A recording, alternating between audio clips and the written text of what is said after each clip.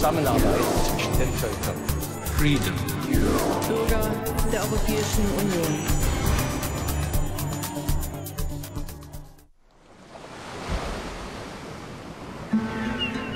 Nida, once a fishing village, now a popular holiday resort on Lithuania's Curonian Spit. We're meeting Vidmantas Jakas again. Two years ago, he bought a steamboat, and now he takes tourists on excursions. The first time we were here in 2000, he was still putting to sea in his fishing boat. A lot has changed since then, for him and for Lithuania too, especially after 2004, when the small Baltic state joined the European Union. So we're starting our trip off in the same place as last time, just more than a decade later. We want to see what's become of the people, of their hopes and their fears.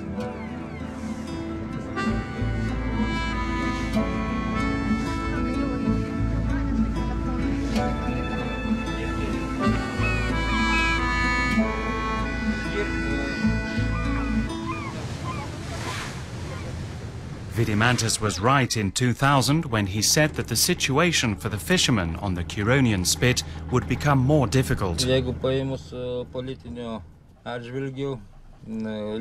Small companies in particular will suffer from Lithuania's accession to the EU, he said back then. They'll import fish and the prices will fall, especially because fish from abroad will be cheaper than our own.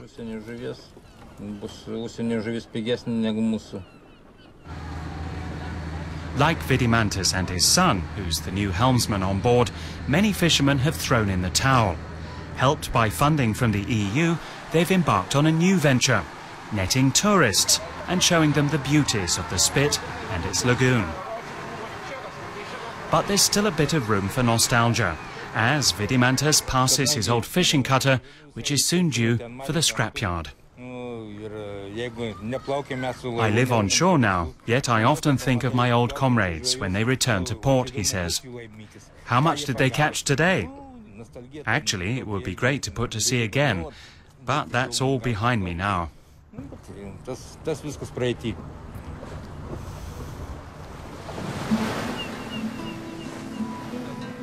From Nida, our journey will take us on to the port of Klaipeda.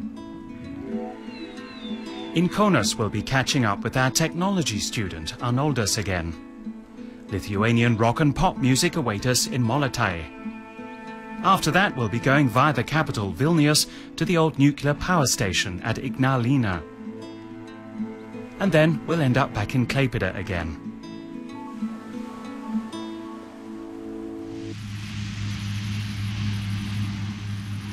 Not far from the Spit, near the port of Klaipeda, we turn up at the estate of Manfredus Skroblis. He farms just under 100 hectares. Manfredus is a born farmer, just like his grandfather and great-grandfather.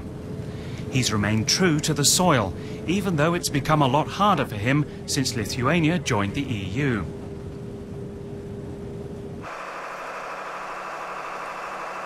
Even when we visited him the first time, he already knew he would have to make some changes. Mes įstosime Europos Sąjungą, tikrai nebus. Bet ir lengviau. Back then, he was still optimistic and thought joining the EU at least wouldn't make things worse. Reikia jau vien ne tik tai. But we'll still have to be more flexible, he said. Bet reikia ir savo mintis viską sukoreguoti.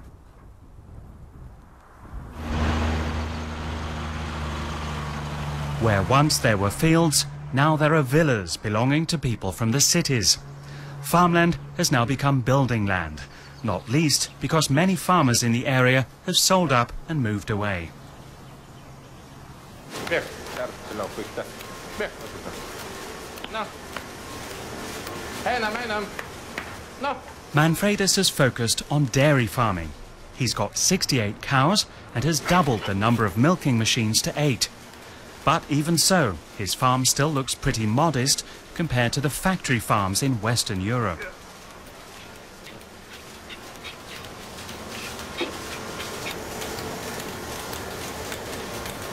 The milk tanker calls every other day. Manfredus is not allowed to produce as much as he wants. Like every farmer in the EU, he has a quota of milk that he mustn't exceed. Whether it makes sense to him or not, Manfredus has to stick to it. And of course, take care of the massive bureaucracy and paperwork.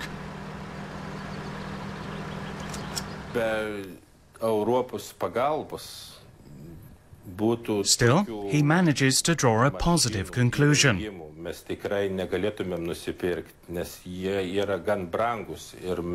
Without the support from the. EU, he says, I wouldn't have been able to buy my milking machines because they are very, very expensive.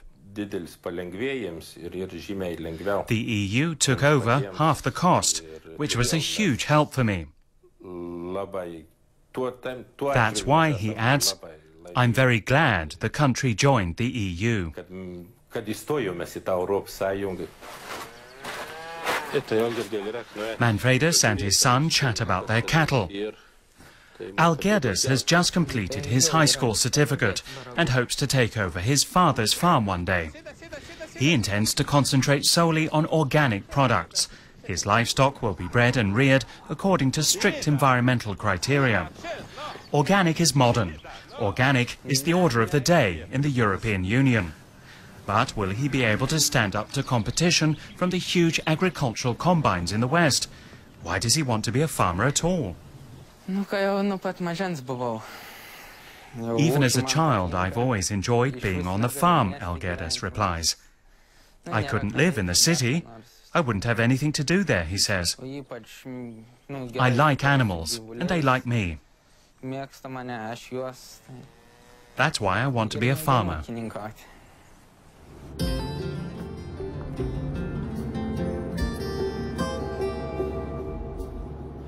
We drive further to Kaunas. Here they're really in step with modern times. At the Axis power utility, Arnoldas Bagdonas and his colleagues are working on an electronic measuring device. It will take remote readings of household power consumption and bill it via wireless networks. Arnoldas is the team leader. In his early career, he spent five years at Siemens in Germany. The first time we met him, Arnoldas was still studying at the Technology Center in Kaunas. Although I would like to work for a foreign company, he said then, it would have to be in Lithuania. Going abroad doesn't interest me at all.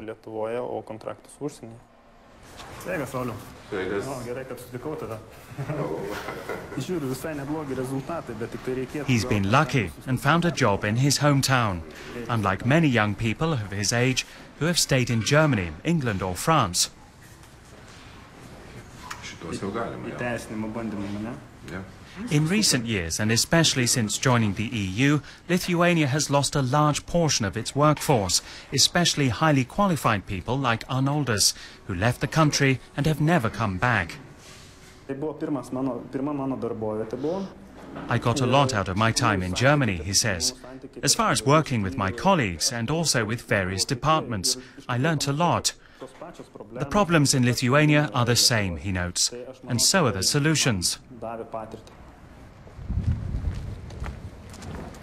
Time to knock off as usual. It's getting late, and Arnoldas has to rush to pick his son up from kindergarten. Rokas was born in Germany. His wife Yogita and their young daughter are already waiting for him at home. The family is doing well. They're not rich, but they can still afford a nice flat on the edge of Kaunas. The decision to return home wasn't easy for the young couple. Arnoldas had a well-paid job and they'd made some friends in Germany. All in all, they were very comfortable there. In fact, Yogita would have preferred to stay longer, but Arnoldas wanted to go back.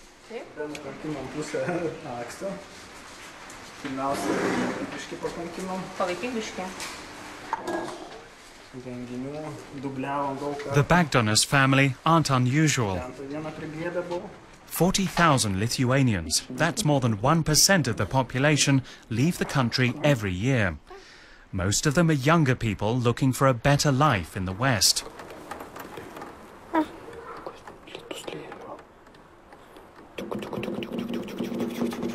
For Lithuania, it's turning into a disaster. As qualified workers emigrate, they leave behind them a shrinking, aging population. Tiesiog vat, prieš porą metų, kai grįžom iš Vokietijos, aš nelabai norėjau grįžti ir iš tikrųjų grįžom. We really came back because of Rokas, Yogita stresses. If they'd stayed in Germany, their son wouldn't have learned Lithuanian. Nei, nei lietuviškai, nei, nei kaip kitaip. Ta prasme, On this point, both of them agree, although Arnoldas adds that in reality it was also a question of mentality. They would have had to change and become more German, as he puts it, in order to integrate. If you live in a foreign country, he thinks, you have to take on its ways and traditions. With a certain amount of national pride, he says it's a good feeling when a lot of people come back to a small country like Lithuania, which only has a population of 3 million people.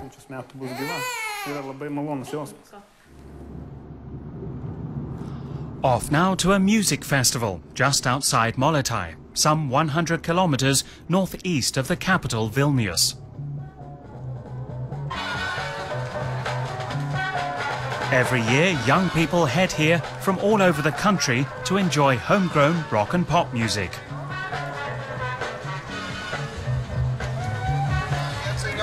Modestas Svoba is one of those taking part. He's a presenter with the private radio station Zip FM.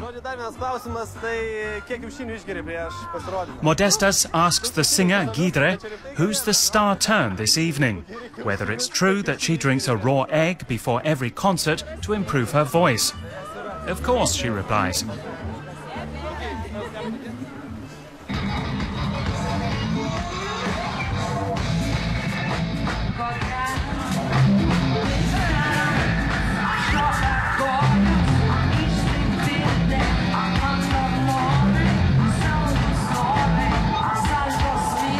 Giedre sings her hit song, Gara, which means good, or in this case, more like feeling good. Her songs are about love and happiness. She wants to entertain her audiences, not bend their ears with political concerns.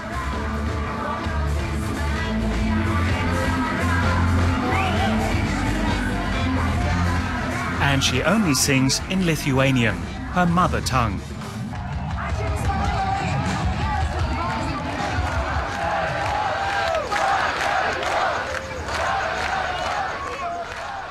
Next morning, we're in the capital, Vilnius. Sugrojimų, kai gera, gera gedras gabalas, tai yra gera. Enti gerą, pasigarsinkit, labai smagus lietuviškas gabalas. In a tiny studio, we meet Modestas again. He and a colleague are presenting the morning show. When the CD jams, Traukiam kompaktus, iš Zip Extra, išlindo vienas, metam kitą greitai čiuba, čiuba.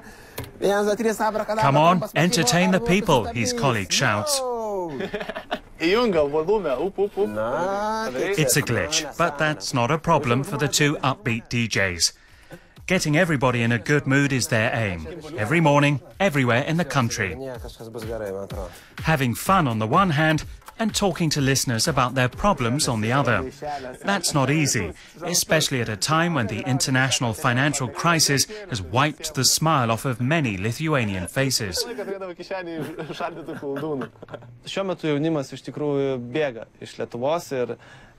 Many young Lithuanians really are leaving, says savim Only those with a job, friends, or solid ties are staying.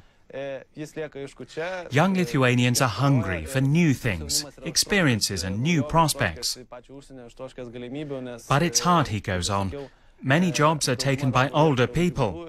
I don't have anything against them, but that means young people have no chance to make something of themselves. The skyline of Vilnius. Since Lithuania joined the EU, most of the investment has come from Scandinavian banks and companies. The country became a member of the West, extricating itself from the Russian sphere of influence, economic as well as political, for good. But at the same time, the country took on the risks of a free market economy and was hit head on by the global financial crisis in 2008 and 2009. The economy collapsed and the number out of work soared. Welfare benefits were slashed and taxes rocketed. Without any help from the EU, the Lithuanian government embarked on a rigid austerity program. Lithuania, a country with more than a thousand years of cultural history, between tradition and modernity.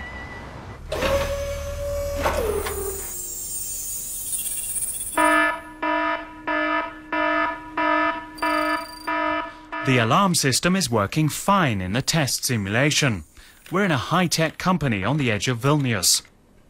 Kestutis Yesianis develops laser equipment for scientific establishments, research laboratories or, as here, for Spain's Civil Guard.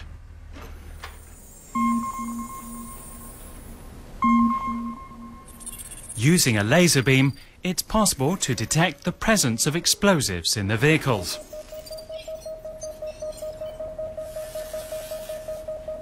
The project Kestutis and his team are working on is subsidized by Brussels. When we first visited him about 11 years ago, he had great hopes for EU membership, not least better market access. We expect a better possibility. My dream is to be accepted as an equal partner and take part in joint research programs, he said back then. Until now, we've always been just an Eastern European partner. Kestutis' dream has come true. The EU estimated the cost of the explosives project at around 4 million euros, a very lucrative contract for a smallish company with less than 100 workers. But the clock is ticking.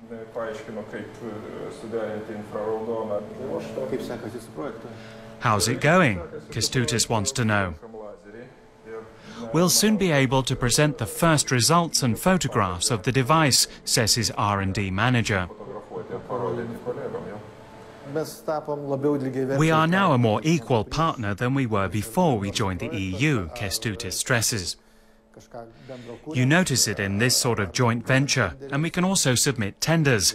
Before the EU accession, we were really just from the East. Now he says we're officially part of the European Union. Kestutis is always on the go. He realized early on that the Lithuanian market alone was too small for his high-tech equipment. That's why he now also sells his laser devices in Asia. Today, he's on his way to the city hall.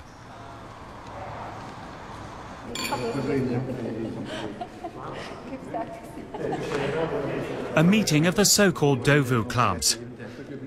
Young entrepreneurs, managers and leading scientists and researchers from around the country come together at irregular intervals to talk and exchange views. Kestutis also takes advantage of this opportunity to network. The future of Lithuania, discussed and planned in an historical setting. That makes it a fitting place for a lecture on the country's past. For the self-confident Lithuanians, modernity and tradition seem to go hand in hand.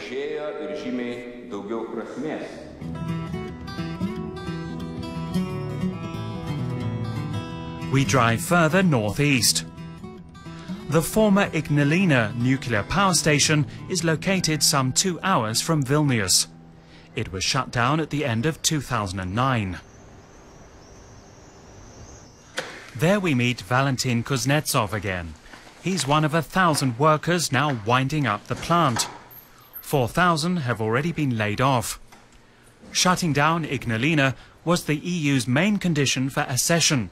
Both reactors are of the same series as those in Chernobyl. Ignalina, which was one of the biggest nuclear power stations in the world, provided as much as 75% of Lithuania's energy needs. Valentin came to the plant as a young engineer and has spent his whole working life here. He never had any doubts about its safety. When asked about problems, he said back then, No, uh, no um, problems, technical problems of this, uh, of this station, of this type of reactor, about Ignalina nuclear power plant. For many years, Valentin worked here, in the plant's nerve center, and he knows the old technology like the back of his hand.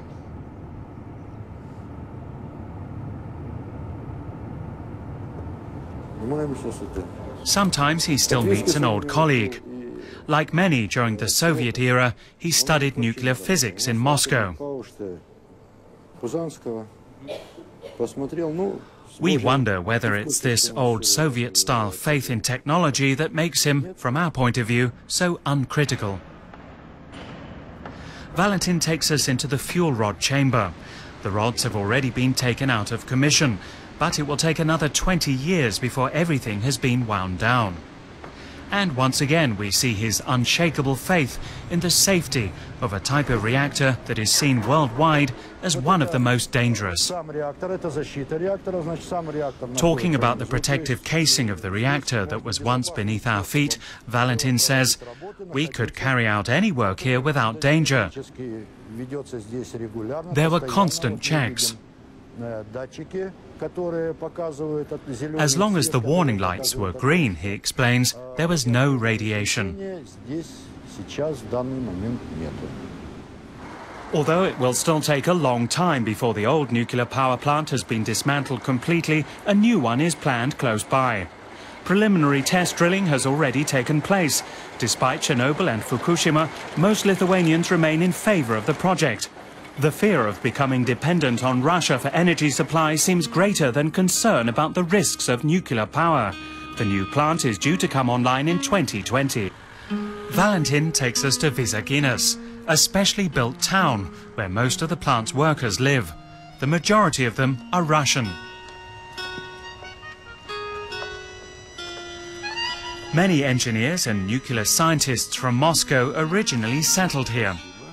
Valentin was one of them, among the first to move into what was in the 1970s seen as a town for privileged workers. The privileges are now long gone, and many here are out of work. But they still haven't gone home to Russia, probably because the standard of living is still better here in Lithuania. At a memorial with inscriptions in both Lithuanian and Russian, Valentin gives a somewhat misty-eyed account of the old days when the town was still young. Back then, there weren't as many buildings, he remembers. Lots of people were walking around with prams. It was a great time, maybe not always easy, but it was interesting.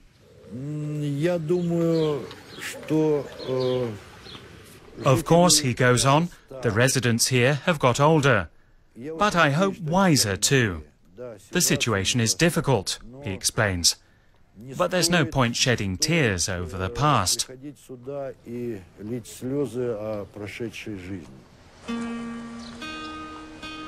Before we take our leave of Valentin, he shows us something else, something special, maybe even unique. In front of the town hall, there's a huge indicator showing not only the time and the temperature, but also radiation levels. 10 microrems. Everything okay. Much relieved, we continue our journey.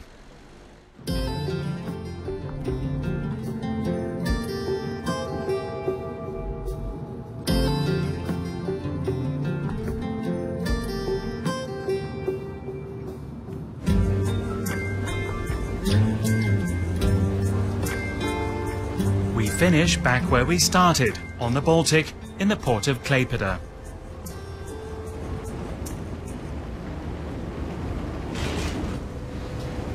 Is Lithuania on a new course? That was the question we asked ourselves when we started.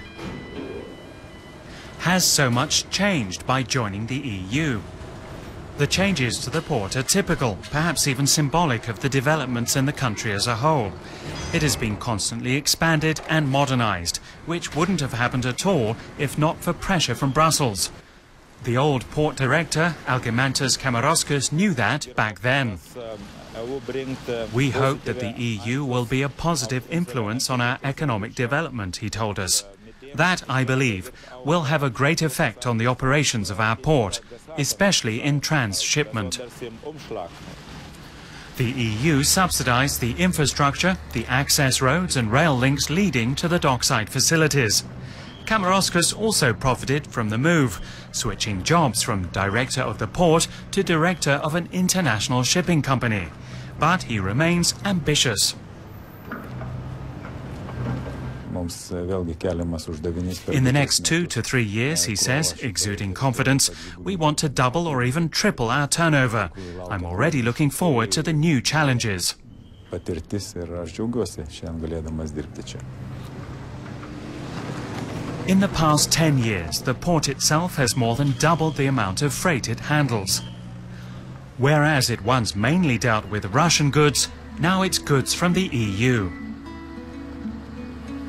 At the end of our trip, our impression is that Lithuania set course for Europe a long time ago.